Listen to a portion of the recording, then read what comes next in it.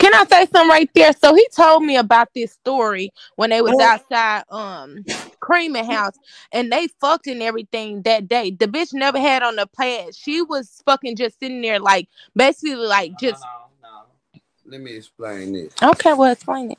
First of all, it happened like this. And I ain't got no reason to lie. We was in Cream House. We left up out that bitch. We went to the car. I was fucked up. Like fucked up. So I didn't realize what the fuck really had happened, what took place.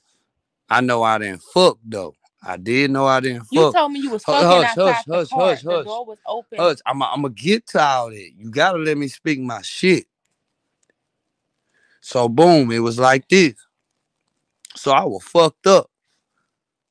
And the next day, I realized I had makeup on my shirt, this, this, and that, and all that, and the third. So I sit up there and I said, Hey, did you suck my dick or some shit like that? Cause I got makeup all on the bottom of my shirt. She was like, Yeah, cause you was sitting up here talking about you couldn't take it and this, that, and the third, and all this type shit. So I'm like, okay. And then, so you know, when you drunk, you start remembering other shit. So I start remembering when I was trying to fuck her, but my dick won't get hard. This real shit. And babe, you know how I am. Yeah, when you Oh yeah.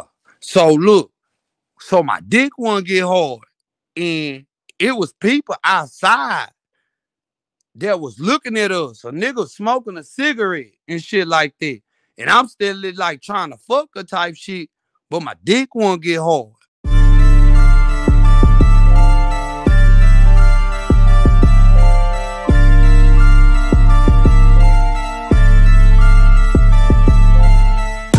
What's up? I'm Rocco the Singer, and I'd like welcome you to the Hood